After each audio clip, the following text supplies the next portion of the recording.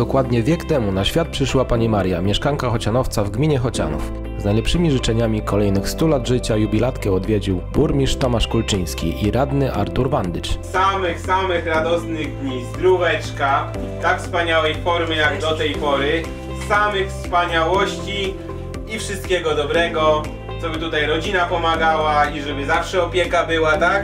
Zawsze serce i miłość i żeby po prostu był Jak każdy. braknie opieki, to ja przyjdę. Wszystkiego dobrego. 200 lat, 200 lat, niech żyje, żyje nam. My również dołączamy się do tych życzeń. A anioł stróż tych białych róż, niechaj ci bukiet splata, postał rodziny dom.